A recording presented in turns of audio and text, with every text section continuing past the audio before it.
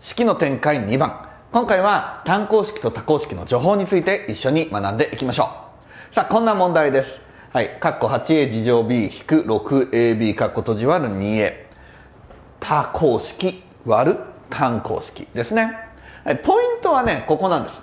除法ね、えー、割り算では割る数の逆数をかけて計算しようねというポイントがあります。ね。えー、例えばこれだったら割る 2a、ね、割る 2a ってあるけど、えー、逆数にねして逆数をかけて計算していこうよということなのね。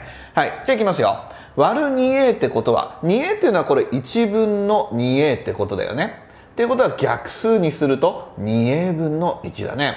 はい。だから 2a 分の1をかけるということだよね。はい。そうするとこの式は 8a 事乗 b 引く 6ab まあここは一緒だね。はい、かける、はい、かける、えー、2a の逆数 2a 分の1。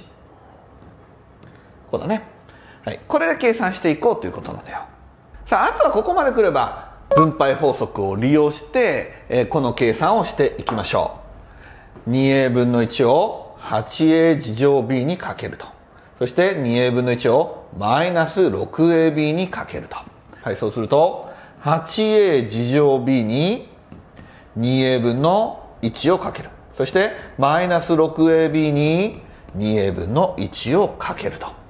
これ約分できるか。約分しておこうか、えー、2と8でここが4になるね。で a が分母これ消えてここ1個。こっちは2がこれ消えてこっち上こっちは3だね。で a が消えると。はい整理すると皆さんどうなります？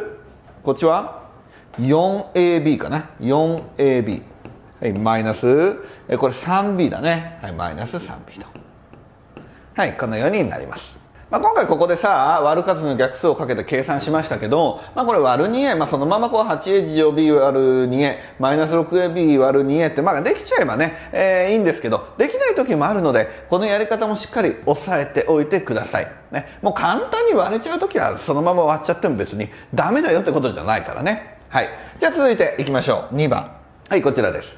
えー、12x 乗 y-4xy 割るマイナス3分の 2xy 割る数の逆数をかけると、はい、かけるにするとどうなるか。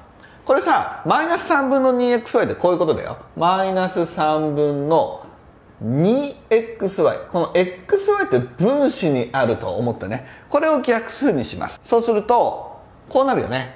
マイナス 2x xy 分の3になるよね。はい。これで計算していきます。前は一緒だよね。はいだからイコール 12x 事乗 y マイナス 4xy かけるマイナス 2xy 分の3になりますと。はい。じゃあこの後。このマイナス 2xy 分の3を 12x 事乗 y にかけます。そして、えー、マイナス 2xy 分の3をマイナス 4xy にかけますと。12x 事乗 y かけるマイナス 2xy 分の3そしてマイナス 4xy かけるマイナス 2xy 分の3と。はいこのようになります。約分できるところしちゃいましょうか。2と12で6これ xy 両方分母消えちゃうね。Xy これ消えてこっち y 消えてこれ x が1個残るか。はいじゃあこっちは、えー、これはまず2と4でこっち2だね。でこれ xy 両方消えるね。Xy こうやって消える。はい整理すると、まずこっち側左側は、えー、分母はもうなくなっちゃうね、えー、だから 6x× マイナス3ということでマイナス 18x はい、次。これマイナスかけるマイナスだから答えはプラスになるね。はい、プラス、こっちも分母なくなっちゃう。えー、マイナス2かけるマイナス3ということでプラス6だね。はい、ということで答えマイナス 18x プラス6になります。はい、じゃあ最後いきましょう。はい、こちらです。ちょっとめんどくさそうですけどね。はい。じゃあこれも同じくね、割る数の逆数をかけましょう。はい、かける。さあこの2分の 1xy っていうのは2分の xy ってことだからね。これね。だから逆数にすると xy 分の2だよ。xy 分の2になる、はい、これをかけてあげる。前は一緒だからね。はい。括弧 10x3 乗 y-8x 乗 y-xy3 乗かける xy 分の2ですね。はいこの xy 分の2を 10x3 乗 y にかけるそしてマイナス 8x 乗 y にかけるそしてマイナス xy3 乗にかけると。はい計算すると 10x3 乗 y かける xy 分の2、はい、マイナス 8x 次乗 y かける xy 分の2と、はい、そしてマイナス。xy3 乗。かける xy 分の2と、はい、こうなありますね。はい、で約分しましょう。はい、xy これ分母消えちゃうね。xy これ y 消えてここが2か。でここは xy 消えるね。で y で。これ x1 個だね。はいそしてこれも xy 消える。x 消えてこれ y は2になるのかな。